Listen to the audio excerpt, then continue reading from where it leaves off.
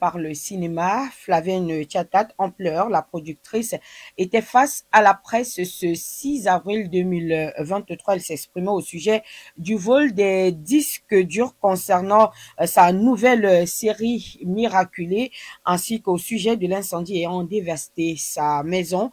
Nous proposons sa réaction au micro de Marie-Laure Kemené et Abdelaziz Peka.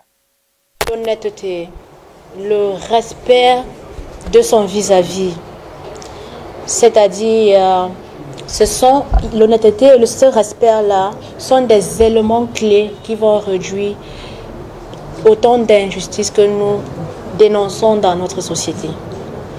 On retient aussi que l'industrie cinématographique est en plein danger. Plein danger pourquoi? Parce qu'il y a des personnes qui oublient parfois ce qu'ils signent comme contrat, comme engagement avec leurs collègues, avec des investisseurs, surtout des investisseurs.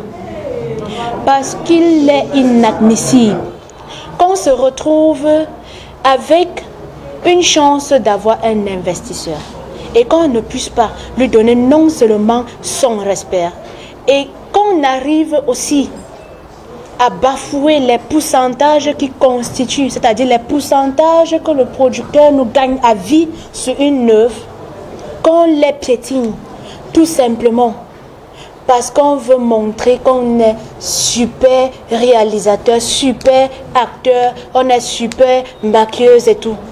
Seule la casquette ne suffit pas. Travaillons notre fond intérieur.